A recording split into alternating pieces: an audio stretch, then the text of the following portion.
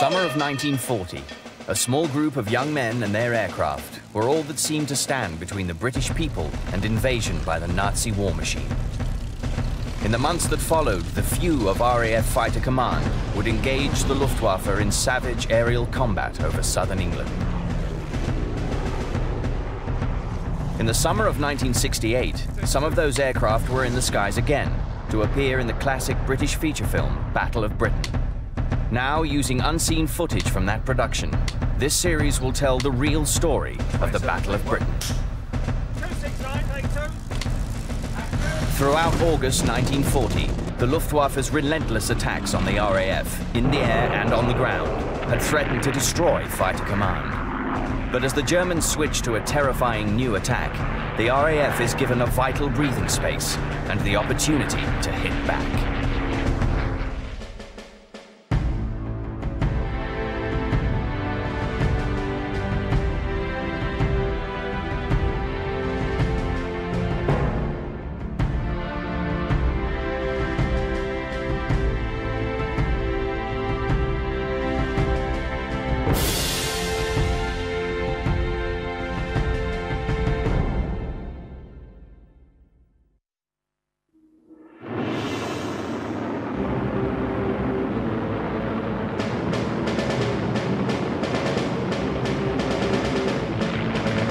Over the past month, huge formations of German bombers have targeted vital RAF installations, including airfields, aircraft factories, and radar stations.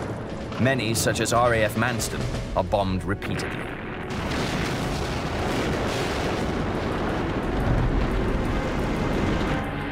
The outnumbered pilots of Fighter Command fought back against this onslaught. Few in number, they hurled themselves again and again against vast enemy formations.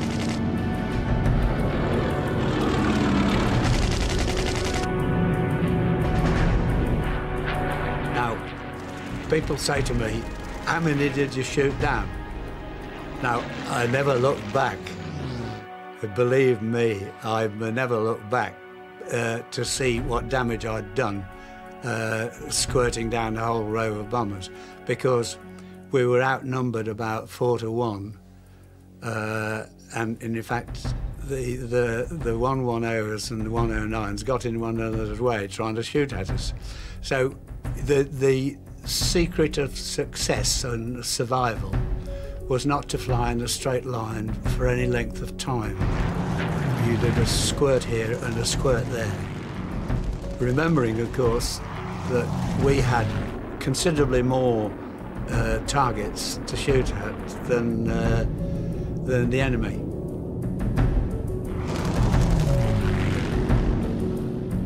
One day, I did five trips in succession, and it was very stressful.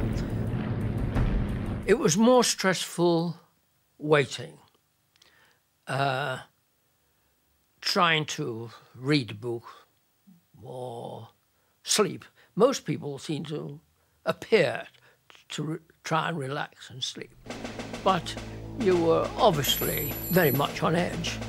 And in a way, I was much happier when we'd been scrambled than I was waiting, though I didn't know what was going to happen when we got in the air. I started off the battle being petrified that I'd be shot down on my first trip. I finished up the battle wanting them to bring more over so I could shoot more down.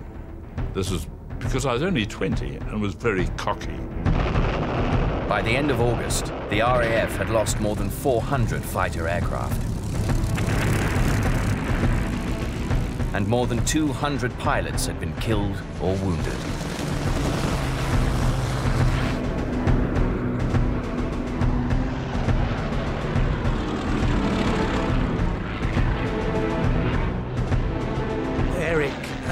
Was shot down behind me and jumped out the parachute and uh, it, it malfunctioned, so he was killed. But after that episode, I definitely didn't make any more friends, close friends. And I'd already uh, shied away from most. Uh, and I didn't even know the names of some of the people that uh, joined the squadron and uh, subsequently got killed. For all the skill and courage of its pilots, Fighter Command was in danger of losing the battle for air superiority over southern England.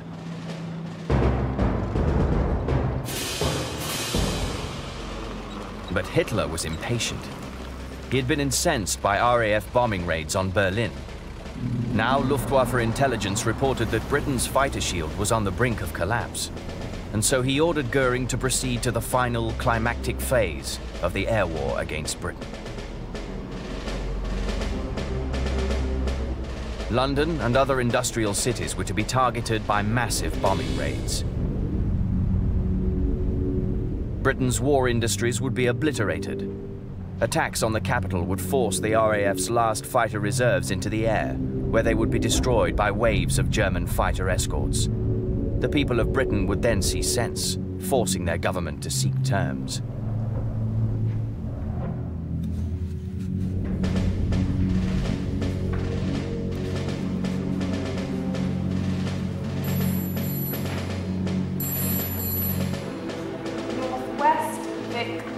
Almost 1,000 German aircraft head for England.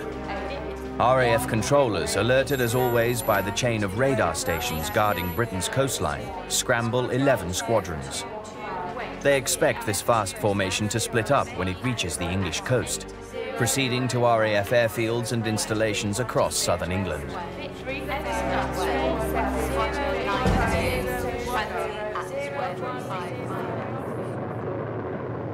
But the huge formation continues on its steady course. The controllers realize it can only have one target, London. Okay, time to scramble. Squadrons already airborne, patrolling 11 Group's airfields, are hastily redeployed. A further 10 Hurricane and 9 Spitfire squadrons waiting at dispersal are ordered into the air.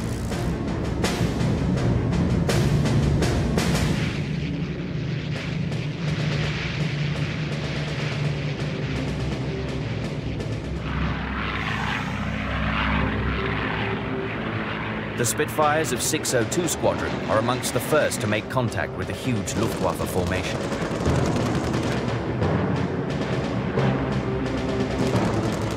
The RAF pilots are no strangers to disparity in numbers. Outnumbered over 10 to 1, they attack.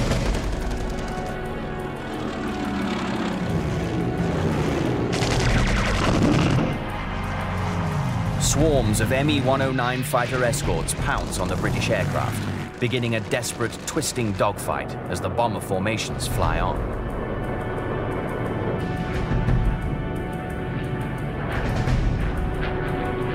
Every available RAF squadron is in the air, racing to intercept, but the bombers reach London. High explosive and incendiaries rain down upon the city's docklands. The east end of London is soon ablaze. There were hundreds and hundreds going over. There was no end to them. And everybody was looking up. And because my mother, she, when she heard a bomber, she would bury her head in the couch and say, Oh my God, help us.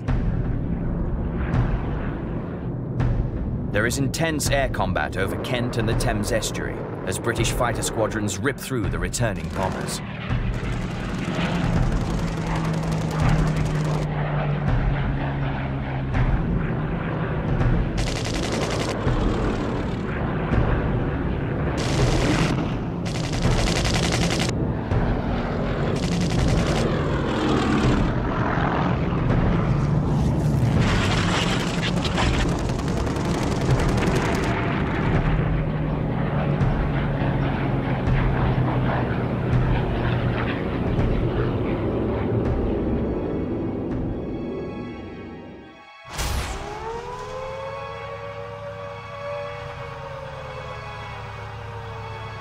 As night falls, more bombers arrive over London.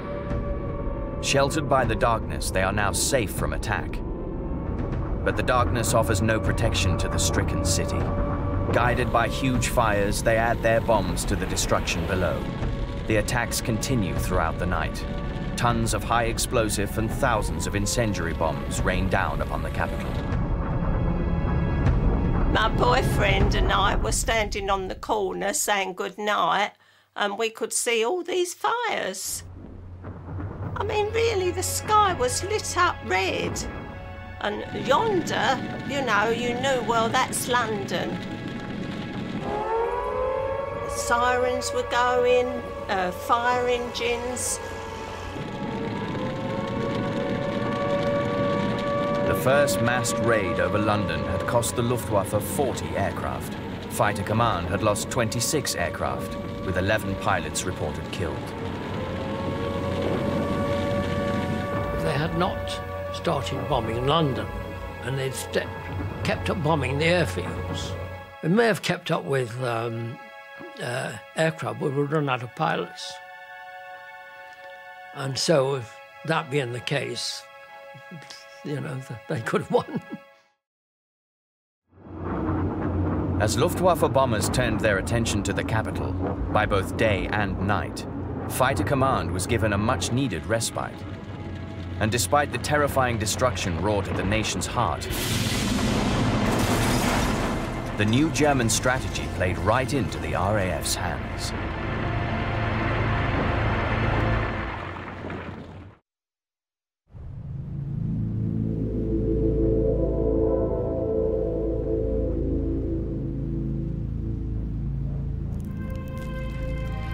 As dawn broke over London, about 350 Londoners lay dead, killed by German bombs.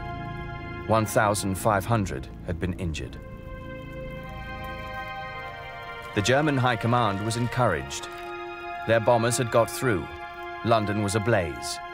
Surely the end was near for Britain and her disintegrating defences. The strategy was confirmed. The Luftwaffe would concentrate its efforts on one target London. Of course, when um, we see the papers and went to work, they were all saying, Didn't London have it last night? At London's expense, the country's air defences had gained a reprieve. Dowding took action to nurse his battered organisation back to health. To overcome the desperate problem of fatigue amongst the most battle-weary squadrons, and the lethal lack of combat experience in the squadrons that replaced them, he introduced three categories for his operational squadrons. The first category were the frontline squadrons, to be kept fully operational at full strength and fed replacements as necessary. The second category consisted of squadrons at full operational strength and capable of being called upon to assist the frontline units. Gentlemen, I'm pleased to say that at long last we have... The final category consisted of squadrons in quiet sectors, where experienced pilots could be rested, while they passed on their knowledge to others fresh from training. In red sections. As pilots recovered or newcomers gained experience, they would be fed back into the frontline squadrons. Just having his squadrons that he moved about, he could conserve his forces. During the actual business of fighting, when you're, as I say, when you're 19, you're too busy ducking and weaving to pay too much attention as to what you're doing.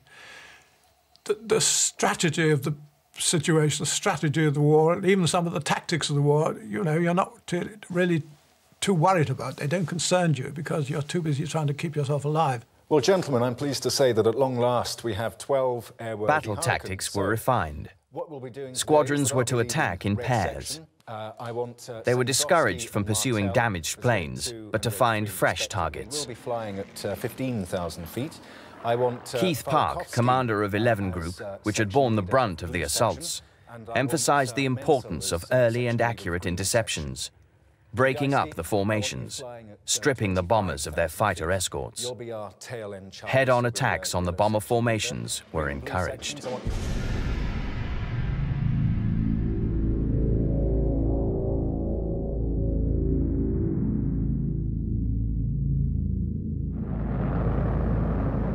huge concentrations of aircraft continue to attack London.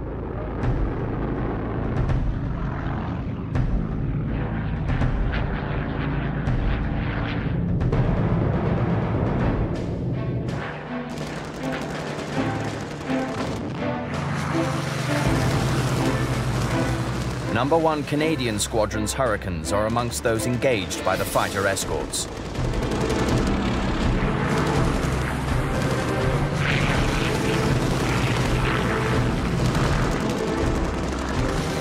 But this earns other squadrons a clear run at the bomber formations. London was at the very edge of the ME-109's range. Burning fuel rapidly at combat speed, they could spend only a few minutes over the capital.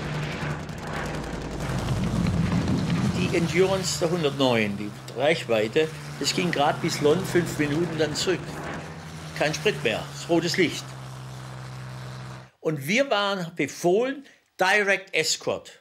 Das heißt, wir wollten unsere Geschwindigkeit reduzieren und mussten an, an, an, praktisch neben denen fliegen, was grundfalsch war. Ein Jagdflieger braucht frei, die Freiheit des Luftraums, um seine Position zu wählen, die Speed zu wählen und so weiter. Nicht angebunden an den, den er eskortiert. Da ist dem wenig geholfen. Äh, und nun kam natürlich die Spitfire oben gewartet und haben, wir hatten enorme Verluste.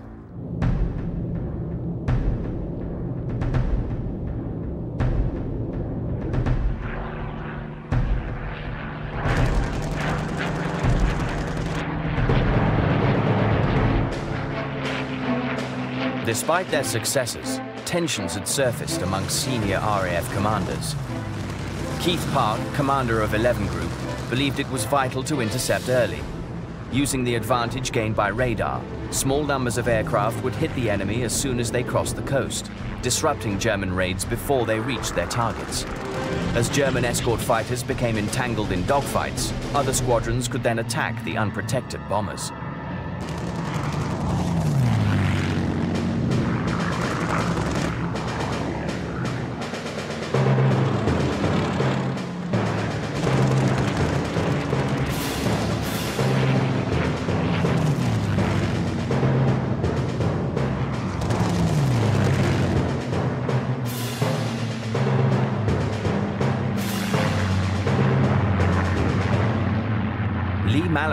Commander of 12 Group, believed in assembling several squadrons into one large formation before hitting the enemy with concentrated force and aggression. Keith Park disagreed vehemently with this big wing concept, as did others. okay, can make a big impact, but it takes time. And the one thing that wasn't available during the battle was time. And we said, well, what a waste of time. Forming up, and all at that time the bombers are coming in and are probably on the way out. And to imagine trying to, sitting around and waiting to form up into a big wing, I'd say would be a total fa- would have been a total failure.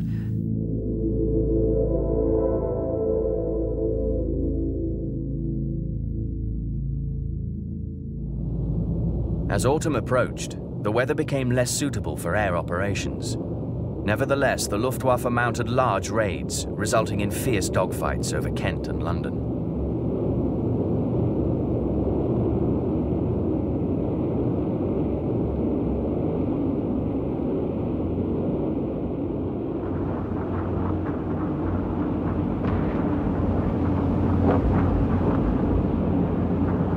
And the nightly blitz on London continued. In spite of the difficulties of locating the enemy in the dark, attempts were made to intercept these nighttime raiders. The only way you could identify what the aeroplane was was by getting underneath it at night and getting a plan view from looking from underneath up at the shape of the wings. And we slowly flew up and closed in formation behind it so I could get my gun sight onto it and open fire. One or two interceptions later, that the Air Ministry were pressed by newspapers as to why I had had success at night. The Air Ministry were determined not to give away the fact that we had effective radar or something in our night fighter that allowed us to close in on other aircraft at night. And the Air Ministry said that I had exceptional night vision, cat's eyes, cats are supposed to be able to see by night, I think. Uh, that was how my name uh, started.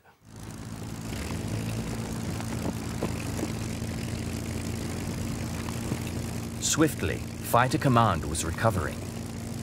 The numbers of trained pilots available for operations was increasing daily.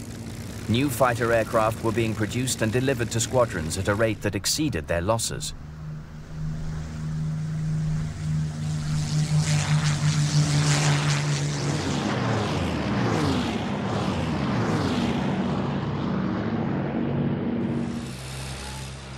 Reich Marshal Goering, meanwhile, reassured by over-optimistic intelligence of the kind he liked and expected to hear, believed the enemy to be fatally weakened. Now was the time for maximum effort. A single raid of such overwhelming force that it would bring about London's ruin and the certain annihilation of Fighter Command.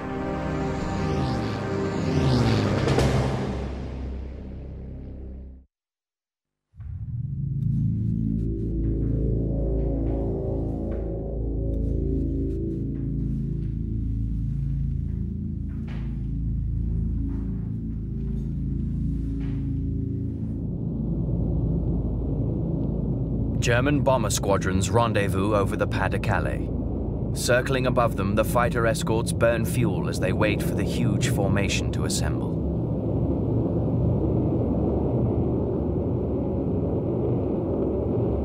Starting from a few aircraft to suddenly having to put up 250 plus was very, very scary.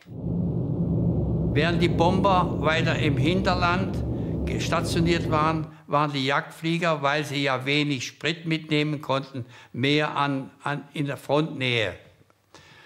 Um, um nun so einen Riesenpulk zusammenzubekommen, Bomber und Jagdflugzeuge, musste man sich sammeln. Da wurden bestimmte Sammelplätze wurden bestimmt. At 11 Group's operations room at Uxbridge, the day had begun quietly. The personnel in the underground plotting room whiled away the time.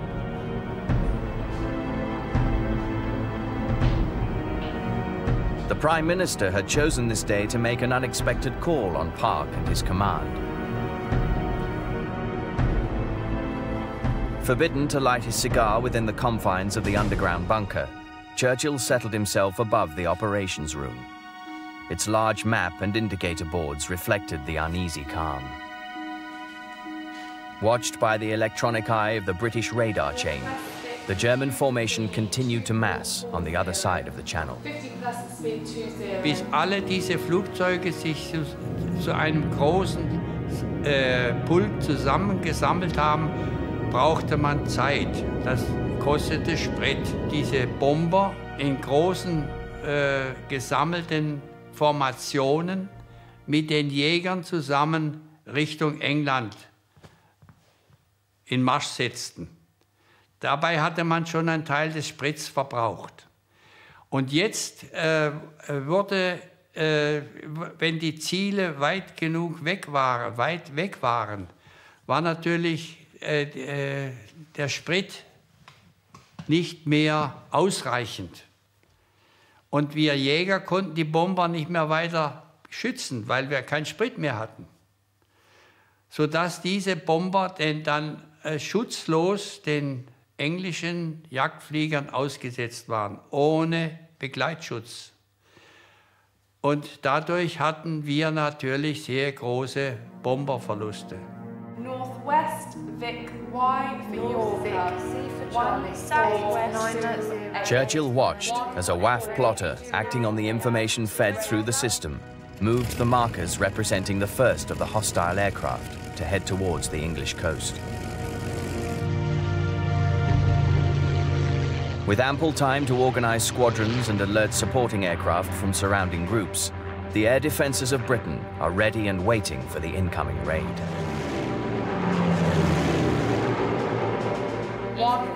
More markers crawl across the plotting table. Squadrons from Biggin Hill, Northolt and Kenley scramble to get airborne. With radar giving the enemy's course and height, and knowing London is the target, RAF controllers confidently position their forces.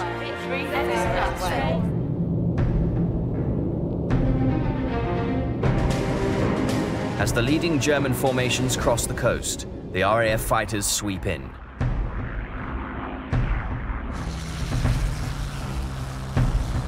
The German pilots brace themselves to receive these last few British fighters. The Spitfires dive out of the sun, bouncing the fighter escort.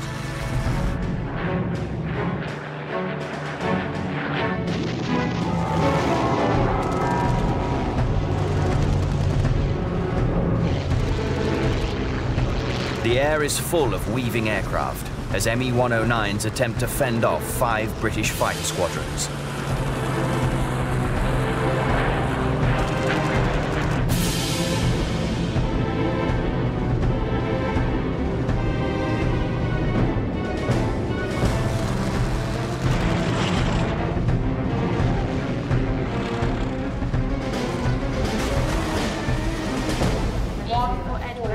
Second wave of RAF squadrons arrive, attacking head-on.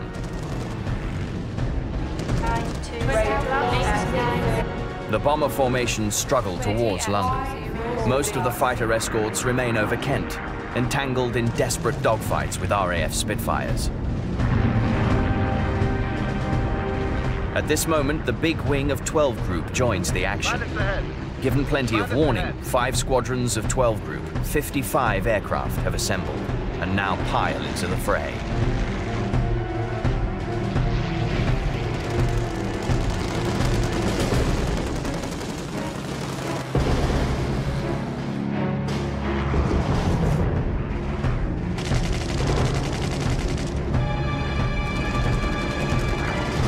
With RAF fighters attacking them from all angles, many bombers jettison their bombs immediately and turn for home.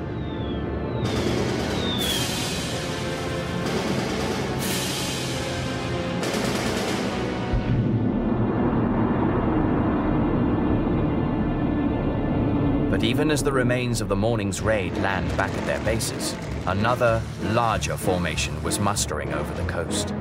As always, it is monitored by the watchful eye of British radar.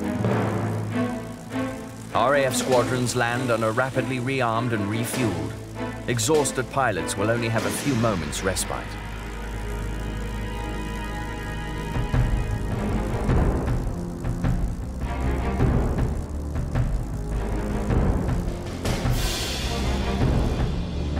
The German formations fly out over the channel in three huge columns.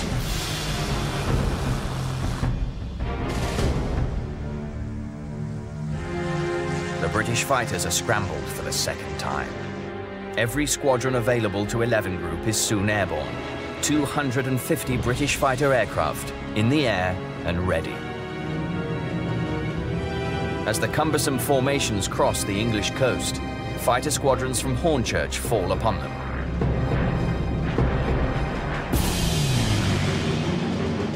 Two German bombers are destroyed before the 109s can intervene, locking the RAF pilots in a frantic dogfight. It is a repeat of the morning's fighting, with one grim variation. The British controllers have assembled a large number of their fighter squadrons at the point where the German fighter escorts will be getting low on fuel.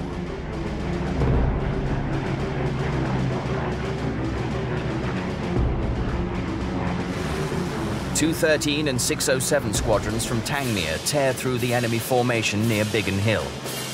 The Me-109 escorts attempt to fend them off, their engines burning fuel as they push their aircraft to full power.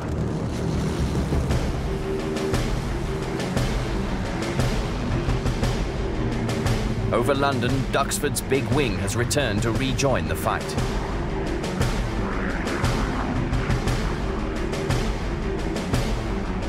The Luftwaffe has battled its way towards London, losing aircraft to constant attacks. Now, over the city, it is hit by a total of 17 fighter squadrons.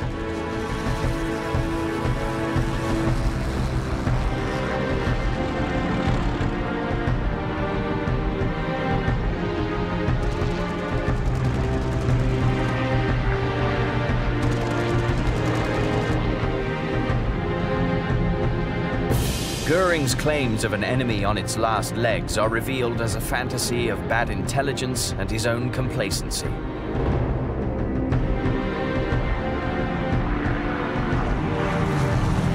The German escorts, their fuel warning lights glowing, are forced to disengage. The bomber formations scatter their bombs and turn to their bases. Staggering under the constant fighter attacks, the surviving aircraft are harried all the way back across the channel.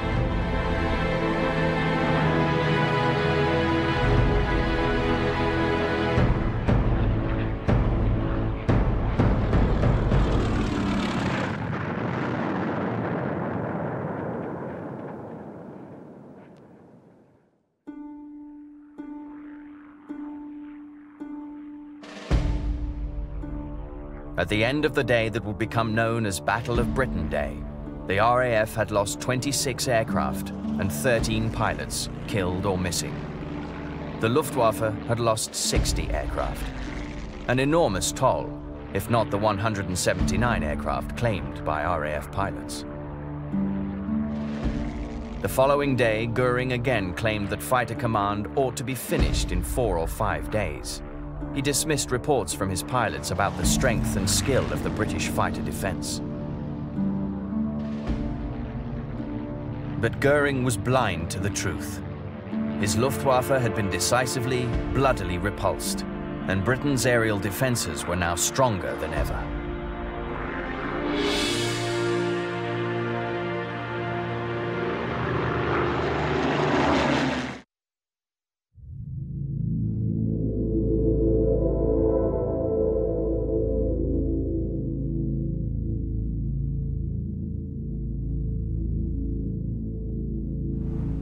17th of September, Hitler himself recognized that an invasion of Britain had become unfeasible. The enemy air force is still by no means defeated. On the contrary, it shows increasing activity. The weather situation as a whole does not permit us to expect a period of calm. The Fuhrer therefore decides to postpone Operation Sea Lion indefinitely.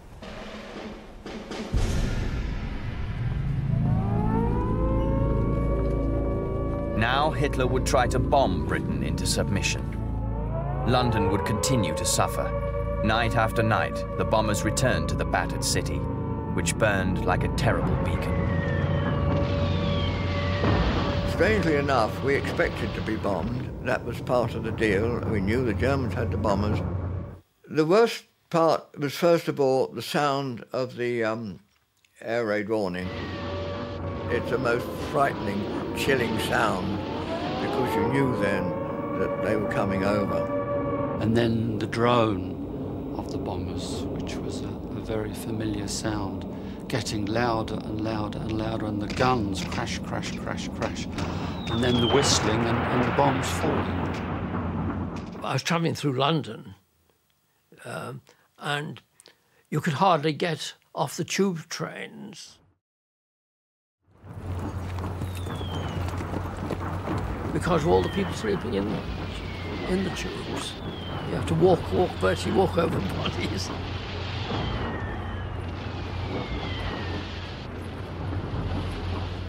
And I also remember the place shaking so, uh, the whole building shaking, and one would have thought the building was going to fall down. You just was in the air raid shelters and you just stayed down there, and that's all you did do. Petrified. You were frightened to go out. But the danger and destruction did not break the people's will. Instead, it strengthened their determination. After the bombing in London, the shops would be damaged, the roads would be damaged, the buses weren't running. But among everybody was this need to get back into the office that day, whether they walked, cycled, got a lift. And it was this determination to stay fighting. We still went out seven o'clock in the morning to catch the tram to go to work, And I mean, you couldn't go out once you went in the building because you was too frightened. We just went over the road to get something to eat and come back to work. And then when we came out six o'clock at night, we hadn't got down to the Old Bailey, and the sirens would go, and you'd just have to run for your life then to get on the tram to get home. The the courage, the morale of the British people in 39, 1940. Um, I, I find absolutely wonderful.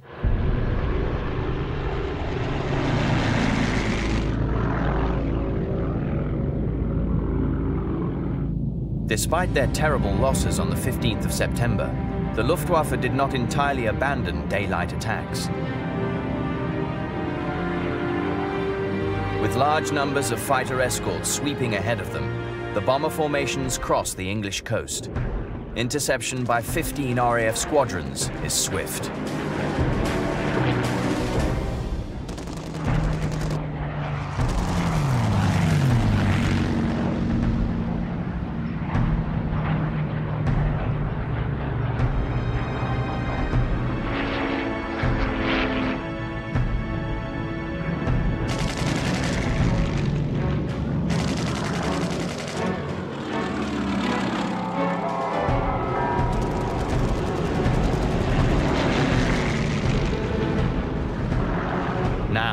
German escorts have to fight their way back.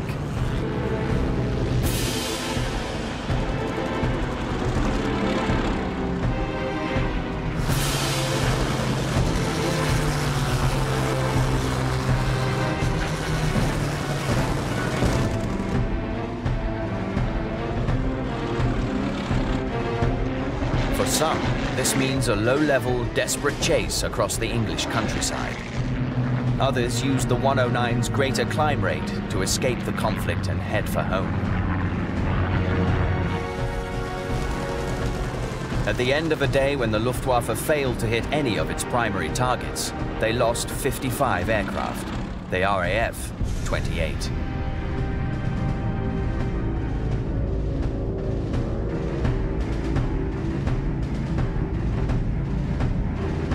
On the last day of September, the Luftwaffe launches a number of separate raids across the channel. RAF fighters intercept each raid as it crosses the English coast.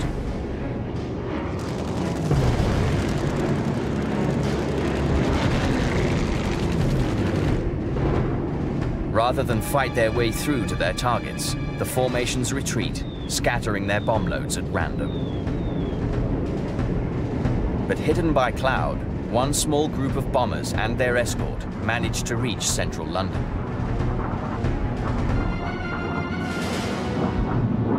Der 30. September am Nachmittag war ein schlimmes Erlebnis. Wir haben über den Wolken äh, Junkers 88 begleitet.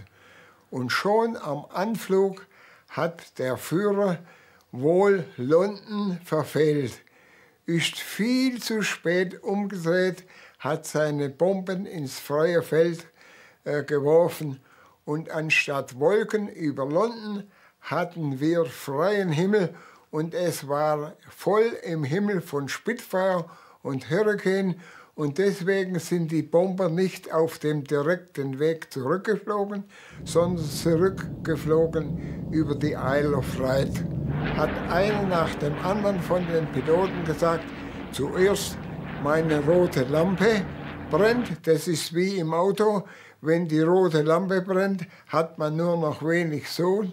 Nach der roten Lampe sagten insgesamt 21 Piloten, mein Motor steht. Und nacheinander haben sich so 21 verabschiedet. Davon wurden nur zwei vom Seenotdienst gerettet, 19 sind ertrunken.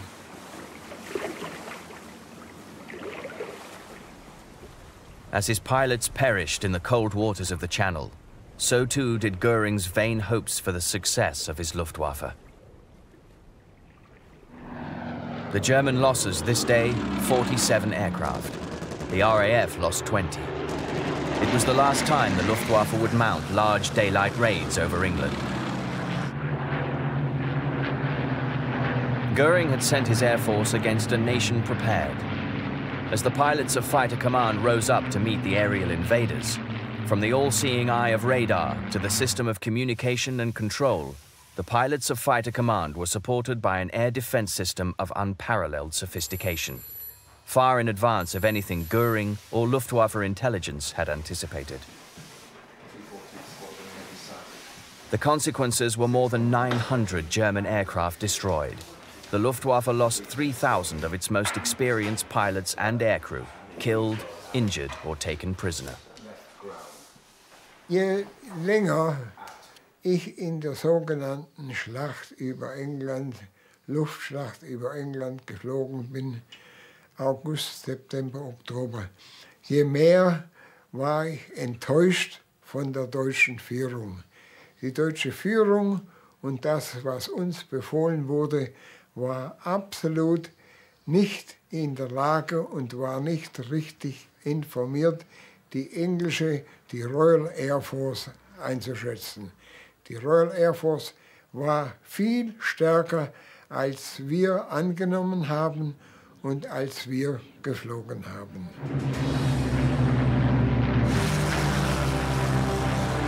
The Battle of Britain had been won. And although air combat would continue throughout the autumn of 1940, the few who fought in the skies above England had held the Luftwaffe at bay. They had stopped the seemingly unstoppable march of the German military machine and ensured that Britain would not crash to defeat as others before them. They had proved that Britain was willing and able to fight on.